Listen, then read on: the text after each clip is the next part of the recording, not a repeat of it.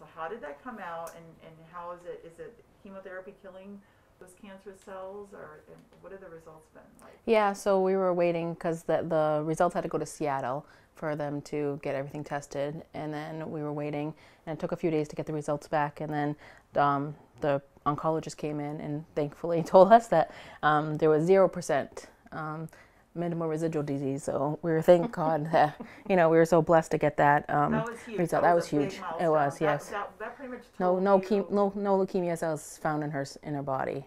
So yeah, So So it's killing the cancer cells. All the treatment she's been going for. Oh yes, yes, because they say that the faster that they go into remission, um, the better prognosis that she has. So you know we're very blessed that you know the chemotherapy kill the cancer cells, and now we still have to do all the intense chemotherapy to con- to maintain that she stays in remission. So how long does that go on that she'll have to do? Oh, be able to come home now, but she'll still have. She's still doing the chemotherapy, despite the fact they know it's killing the cells. Yep. They have to continue that up to make sure it stays in remission. Is that what's Yes. On? Yep. They have to keep on um, killing. They keep on throwing different chemo uh, medication at her till that um, the cells don't have a chance to you know replicate or try to come back.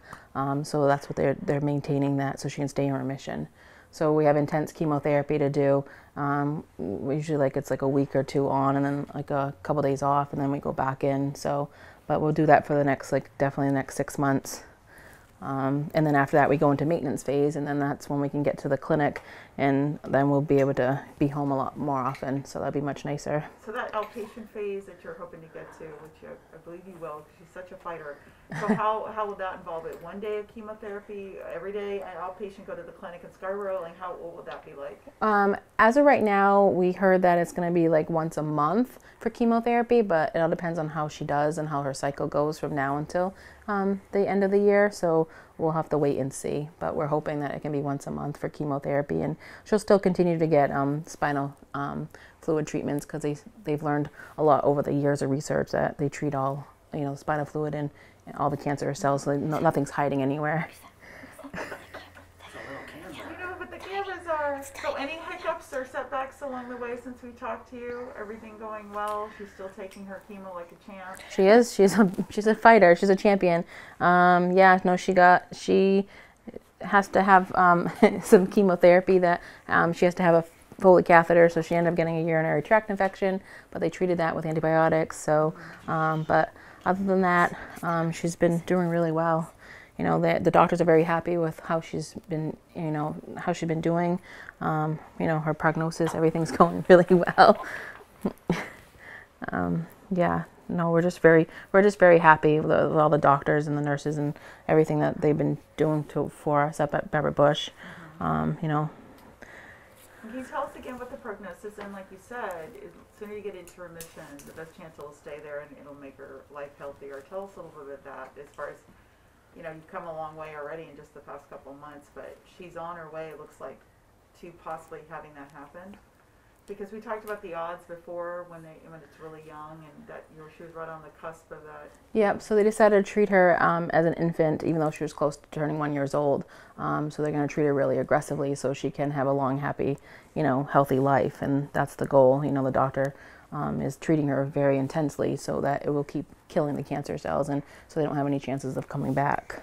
And they have found in, in a number of the cases when they do that, it doesn't come back. It's um, the kids are healthy, they have a healthy life. Yeah, the prognosis is very good. So um, we, you know, we, we want we, that's what we want. That's what we want to stay, right, Madison? Yes, in remission. So she hasn't had any treatments today, obviously today. When was No. the last treatment? Um, she had chemotherapy last week, so. The big difference in how she's acting today. Oh, yes. yeah. Oh yeah, no, she loves being home and she she loves to be with her. Oh, yeah, she loves to hang out and play, and she's getting stronger every day. Um, she has physical therapy and occupational therapy and speech therapy at the hospital. Um, so they're supposed to come into the house and help us out that way too, Yes, right. um, to get her stronger. So because obviously she's still, um, you know, she's almost 13 months old and she can't crawl or walk yet. Um, but she's had a setback, you know, in the hospital. That They told us that that could happen with her being sick, and obviously in the beginning, her they told us with she was such filled with leukemia cells that she her body was really hurting, and um, her liver and spleen were such enlarged that um, she hated being on her stomach, Right, and right. And her bones and muscles were hurting and aching, so that's why she didn't want to stand. But now I think she's finally realizing that she can. She finally rolls over now, and you know she's getting stronger. She actually wants to stand up on her legs, so I feel like she's. I feel like she's um. Waving's a milestone. Kissing is Yes. a milestone. community. She's waves, she claps, she can roll over now. She wants to actually stand up on her legs. She, I think she finally realized that her body doesn't hurt and ache anymore, and she's much happier. So are they optimistic, the clinicians you're working with, that she'll catch up on those milestones? Yeah, they are. They say that obviously with children that stay in the hospital for such a long period of time, um, they can be, you know, set, setbacks and stuff like that. Um, That's another big one there too. yeah. yeah, she's she babbles. Um, you know, she's you know she, she only says a couple words. Mommy's the the big one, but um, but they Trying to talk. Yeah, she's trying to talk. She's trying to babble. Um, but obviously, uh, you know, we have speech therapy at the hospital that comes and, helps us out. So, um, So tell us a little bit about um, the blood drive that you that your your brother's putting on yeah, because she gets platelets and she gets trans she gets transfusions. she has transfusions for yeah red blood cells often? and um, her platelets. Um, in the beginning, she needed quite a f- few of them because they were treating her really heavy dose with chemotherapy, like straight, like almost every day. So um, she hasn't needed a. Um, she had blood a couple, mm, probably like a couple weeks ago, Uh-huh. um, but she hasn't needed platelets for a little while. Um, but that um, it all depends on how her counts go. We'll determine if she needs to um, have blood or platelets. But my brother, um, yeah, he's the he's the firefighter in Scarborough, and um, they're doing a blood drive on June 23rd in honor of um, Madison um, to help. Also, I, I was telling your husband that there's a huge need for blood right now. There is. Um, really short because of COVID. I it kept a lot of people from donating. So he was saying not just her, but a lot of other people in the community. You know, um, would the blood go to, to the blood bank, right? It's not just for her. Right. Yeah. No. So the goes to the Red Cross, and the Red Cross will distribute it. So it's not directly um, giving her the blood, um, but it's helping. You know, obviously, if people wouldn't donate blood or platelets, then you know they wouldn't be able to you know help out um, Madison. When she first needed blood for her blood type, they had to find specific matching blood for her, and they had to find it, and they got it down in, in a bank in New Hampshire. So, um, you know, we were very fortunate that people donate blood because. You know, I plan on giving blood on June 23rd, and Yeah, my mom is too. too, and Yeah.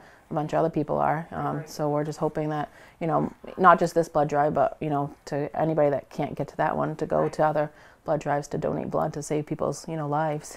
So I haven't checked the GoFundMe in a while. What is it up to now? Um, well, I haven't been Have checked? really checked in a while, but Like, is it oh. close to 45, I oh think? Oh my goodness! Yeah, I think it's close to wow. Yeah. 45, yeah. yeah, Wow, 'cause no, Eric said it's been a really amazing generosity, and we're gonna put the link in again so Yeah. people can donate.